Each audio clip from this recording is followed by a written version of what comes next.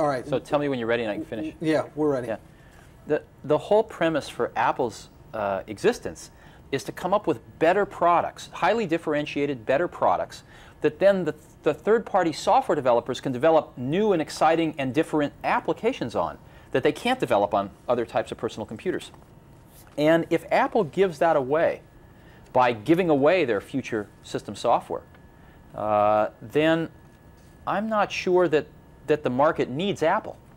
So my whole question in this is, what is Apple's differentiation if this is successful? And if it's not successful, what is Apple's innovation which is going to propel it through the 90s like Macintosh did through the 80s? I'm not, I'm not sure. I'm sure that there are a bunch of bright people there, and I'm sure they have some, some good ideas. They stopped sending me their management reports a while ago. So. well, we've already covered uh, some of the things that, that we can do with PCs today that, that uh, we didn't do. But if we were to look ahead, what do you think that we're going to be doing with personal computers? And I mean, from that, you know, your, your machines here are somewhere between a workstation and a personal computer. What do you think that we'll be able to do with, with this field called personal computing, where you are in control, Sure. that, we, that we can't do today? Um, well, what's happening right now with our industry is it's bifurcating. Uh, all current generation personal computers, all IBM PCs, uh, all most of the current Macintoshes are all going to go portable. They're all going to be smaller, all portable. Within two, three years, everything will be portable. Uh, and yet, customers are also demanding at the same time more power. And more power falls into three or four areas. People want large color screens that they can put photographs on. Ask anyone in, in the upper part of desktop publishing as an example. People want motion video. People want to be networked with very high-speed networking, at least Ethernet speeds. And people want to be sending all of this rich media around the network. Unfortunately, this second class of product cannot be made portable. So what I see is I see our industry bifurcating where the current generation of products are going to be portable and the next generation of products, these very powerful, highly networked color machines, are going to be desktop machines. Uh, and that's where I, th I think we're going. Now, what is going to be the new breakthrough that causes the next spurt of growth in our industry? Just like spreadsheets did in the early 80s, desktop publishing did in the late 80s. And again, I come back to interpersonal computing. I think personal computing, which we, we mastered in the 80s, its mission was to improve individual productivity and at best creativity. And with over 50 million personal computers shipped in the 80s, it worked. The next thing for the 90s, though, needs to be more. Improving individual productivity isn't enough anymore. The real competitive advantage in the 90s is going to come from improving, improving group productivity and collaboration. Improving group productivity. And that is going to be achieved through interpersonal computing.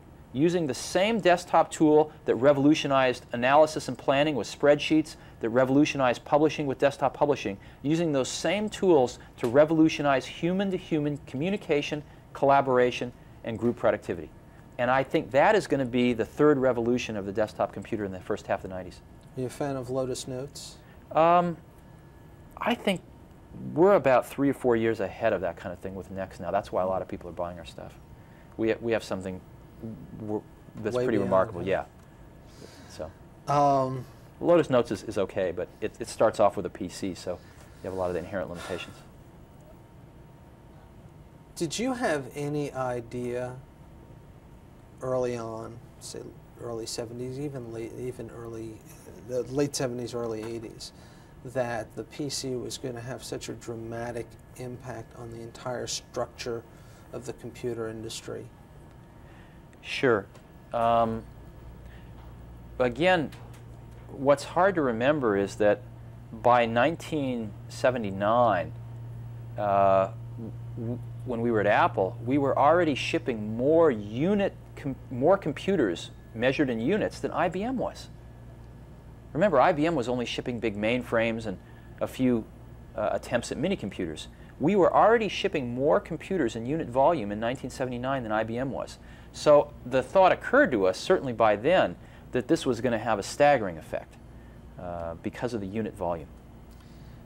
if we're going to come back to you in five years for the 15th anniversary of the PC, how many of the, what among the companies that are out there now do you think Yeah. may well go away, and, and which amongst them that are, uh, you know, somewhere in the in the the also ran pack do you think Sure. may be uh, running up front?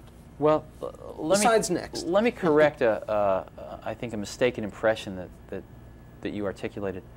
Um, I don't think this is the 10th anniversary of the PC. I think it's the 15th anniversary of the PC, or maybe the 14th, because the first modern PC as we know it appeared in 1977, and it was the Apple II.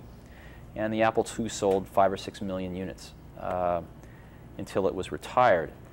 And um, IBM entered the PC business with their products, which turned out to have a very large effect. But nonetheless, there was, you know, the, the course had already been Okay. plotted in 1981. So um, uh, I think it's the 10th anniversary of IBM's entrance into the PC market. Um, five years from now, uh, let me answer a broader question than that, and I'll come back to that one Okay, at the risk of wasting some of your videotape. that's all right. The tape is cheap. Um, there is a constant tension in our industry between standards and innovation. Uh, and I think it's a healthy tension. Standards are very good because they give everybody a baseline, they give everybody a, a, a low cost economic vehicle. But left to themselves, people that usually are the standard bearers don't have any incentive to move forward, and ultimately customers lose. Uh, and that's the role of the companies that innovate. Companies that innovate use as many of the standards as they can, but then leap up from them and try to, to provide new opportunities through, through innovation with a certain amount of risk associated because they're not part of the standard.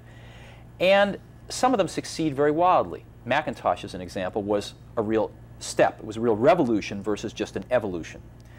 Uh, as where most of the things in the PC world have been evolutionary. 286 to 386 to 486. Excuse me. Sometimes. And it's this tension between the evolution and the revolution that I think keeps our industry moving forward. We've seen seven years after Macintosh, finally the IBM world is getting some of the graphical user interface that was available in 1984 with the Macintosh. So this, this evolution revolution tension, I think, is extremely important to keep on going in the future. And the, the revolutionaries that manage to establish a critical mass, get up to a certain size before the evolutionary people catch up, they survive and prosper. Those that don't get absorbed into the evolutionary path. Um, and with that perspective, when I look at what is happening now, um, unfortunately, I see a lot more uh, a lot more status quo in the next five years than I see real evolution. Uh, I don't see much coming from things like the Apple IBM relationship. Uh, I see more of the same coming from Apple over the next five years.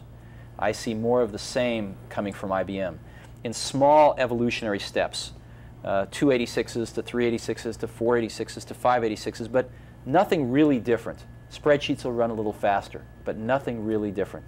Uh, I see, you know, System 7, System 8, System 9 coming from Apple, but fundamentally, nothing really different. And um, I wish I saw more. But I think it's going to be up to, to some of the other companies like Next and others to provide that, that revolution in the next five years, which, you know, five, six, seven years from now, the standard bearers can, uh, can catch up to, just like we saw the PC world catch up to, to Macintosh seven years later.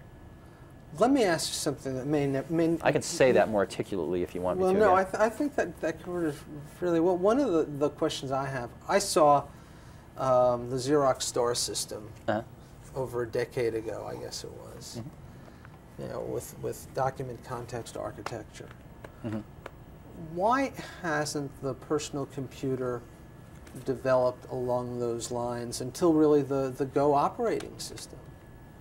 Um, where you can you know touch and, and essentially be doing the spreadsheet in one document, touch, and then you're doing graphics in the same document without having to open new applications and so on.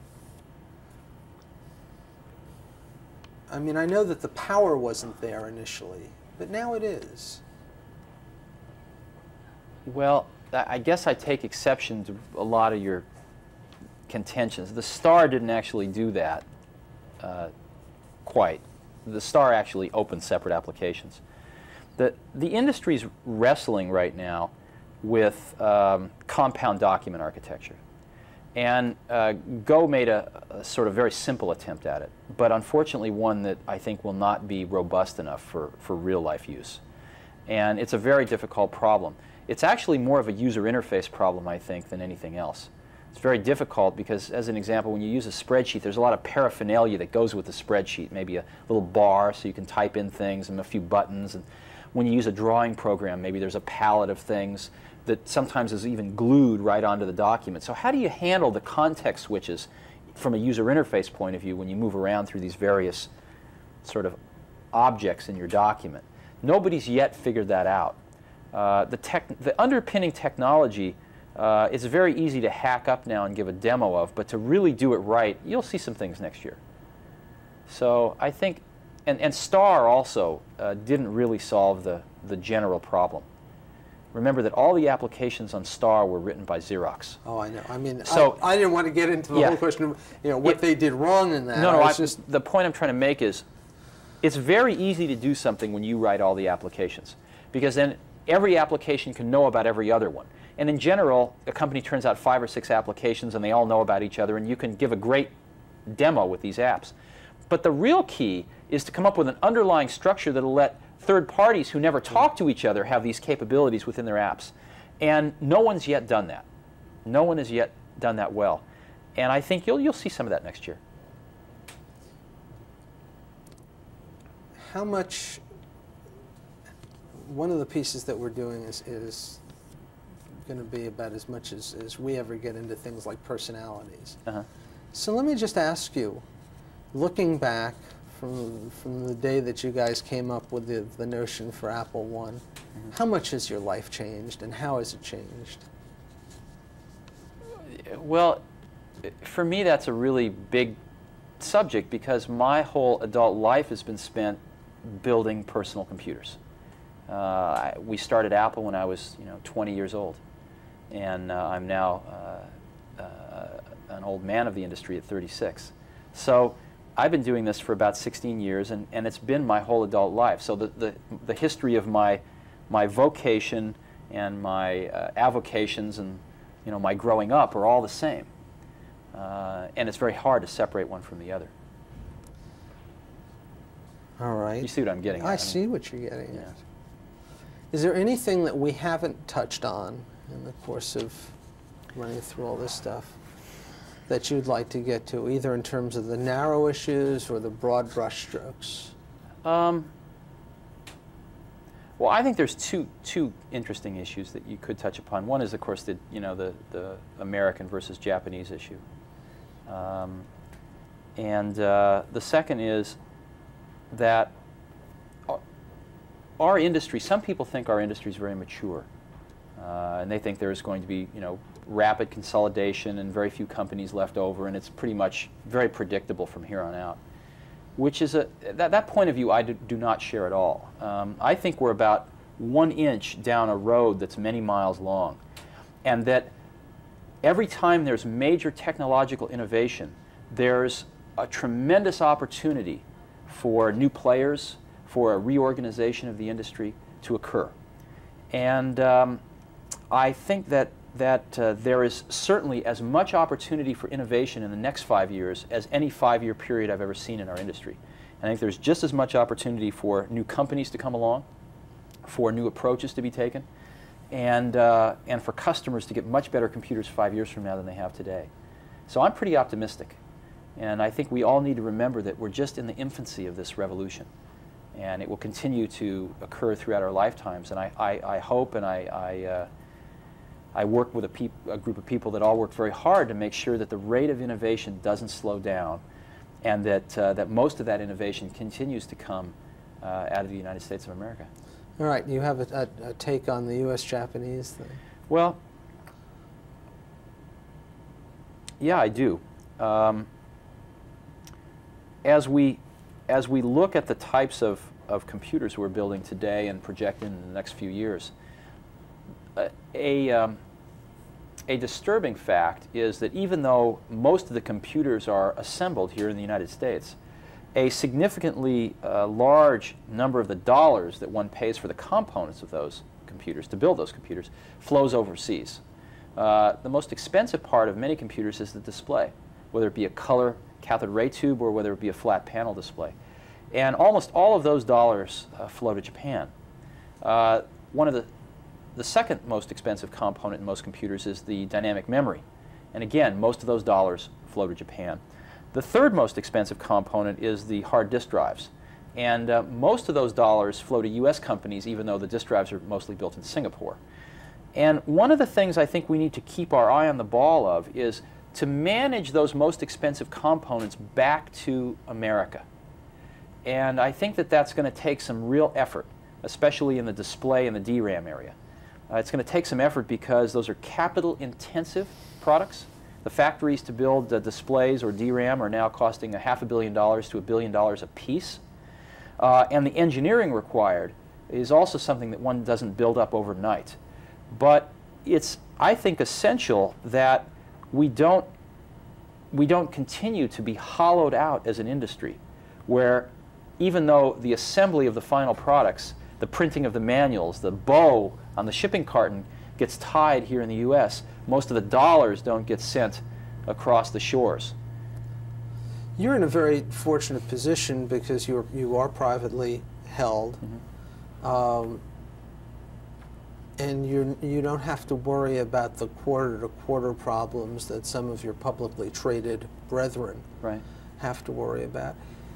How much of what you're talking about is is a result not so much of the advances being made by the Japanese, but by the impediments that exist in the American capital structure in terms of investment disincentives for for long-term uh, capital uh, holdings, in terms of, of the quarterly outlook of the Wall Street analysts, and so on. Um, well, I don't really buy that argument, and let me give you some reasons why. Um, if I'm going to build a factory and it's going to cost $100 million, that factory doesn't get written off the minute I build it. That factory is an asset on my books, just like cash in the bank is. It gets depreciated over many, many, many years. So that decision to build that factory doesn't really affect my earnings statement. It affects my balance sheet because I take 100 million of cash and put it into a 100 million dollar factory, but it doesn't affect my earnings and shouldn't affect what Wall Street views are my prospects or, or my results. Uh, and I think that the real problem has not been with Wall Street, it's been with the management of our industry. It's been with people not being willing to take responsibility for the underlying component technologies and thinking that we could give that responsibility to others and, uh, and survive in, in, in just as successful of, of a fashion, which is not true. Industry after industry has shown us that that's not true. So we have to have more accountability for our raw technologies and not just assume that we can be the final packager at the end. Because ultimately, the providers of those components don't need the final packager at the end. Ultimately, they can go directly to the consumer. And they have relationships with the consumer already, as Sony does and, and others in Japan. I mean, so, Sony, the builder of the next Apple portable, next Mac portable? Ask John Sculley. I'm going yeah. to. so, um, I, I don't really think it, saying it's Wall Street is, is too easy. We've got, we've got Apple, we've got IBM, and many other computer companies with, with hundreds of millions, if not billions of dollars in the bank in cash. Uh, the cash, the raising the capital is not the problem, and Wall Street is not the problem. The problem is that uh, in many cases, the management of our companies um, is not from an engineering or manufacturing background anymore and may not appreciate uh, the dependence we have on these underlying technologies. Is where if you go to Japan, the people running these companies are engineers or, or they're from the manufacturing backgrounds. And they, they very much appreciate. Is that why U.S. memories failed? Uh, I don't know. I don't know anything about U.S. memories. That was the, the yeah, I know. yeah. Um, all right, I think that so. pretty much covers. Good. Thanks. Oh, excuse me, Steve. Yeah, didn't like the idea. I and bought a uh, Apple II Plus system after Really? a little bit of exposure. Oh, great. Then I bought the first Mac, the Thank you. Uh-huh. So each time I bought a system of Mac, Yes. I, I, did- I paid three thousand six hundred for it. Right. And always sell it for five hundred. I'm on an SE The now. curse of technology. The SE is actually a usable, usable. Yeah, the. Uh, you mean the one of a long while ago? Yeah. Yeah. Yeah, we have, or was I don't know if there was a reason. why- We have the most state-of-the-art factory in the whole industry. There's no question about it. It's it's fun. Um, the one thing that I forgot to ask you, and they're going to transcribe the tapes, is I need you to state your name and your title. So that Okay. they- Great. so can you just do that? Sure. Uh, Steve Jobs. I'm uh, president and chief executive officer of Next Inc. Okay.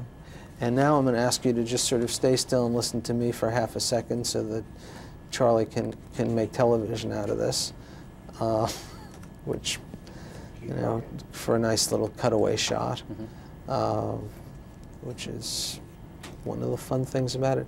I actually, you mentioned an old girlfriend. I know um, a young woman who claims to have been an old girlfriend. Who's that? Susan Butenhoff. Susan Butenhoff. Yeah. Oh, I knew her. Uh, I, I wouldn't say she was a girlfriend, but she was a, a, a acquaintance. Yeah, she was nice. What's she doing now? she- Susan seen her in is uh, an account exec up at uh, Ketchum Public Relations up in San Francisco. Great. And she does, uh, well, she does Sega stuff Uh-huh. and some of the toy industry stuff. So Great. um, I keep running into her when she's trying to pitch stuff.